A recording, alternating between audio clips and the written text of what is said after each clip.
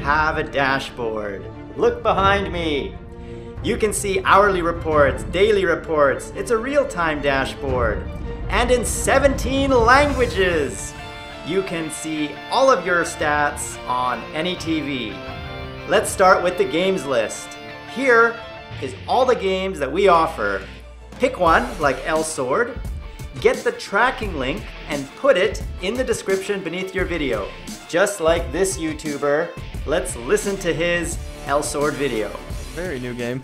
Uh, well, to me at least. I have never heard of this game and then I found it and it is a blast. I am currently level 10 and I'm actually going to go into a PvP here in a minute once I finish. That's how you do it. Talk about the game. Get other people excited by it. Put your Play Now link in the description beneath your video, and whenever someone clicks the link and plays the game, you get paid. And the dashboard shows you this.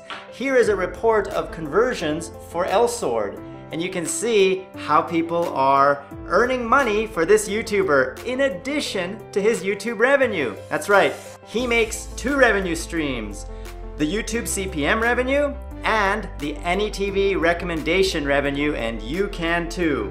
All you have to do is go to www.any.tv, any.tv, and click dashboard and sign up. Put in your name or your company name, it doesn't matter. The payment is by PayPal. You can enter your PayPal information in the dashboard under accounts, and then we will pay you just like YouTube a month and a half after the end of the month when the revenue came in. So for example, if your earnings happened in March, we will pay you not in April, but in May.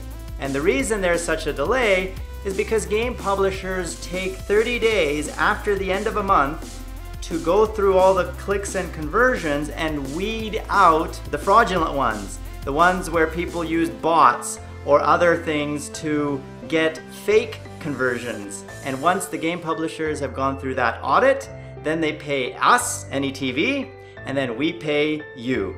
It's as simple as that. Get more CPM on AnyTV. My name is George, CEO of AnyTV, and I hope you enjoy what we've built for you. Till next time, 再见。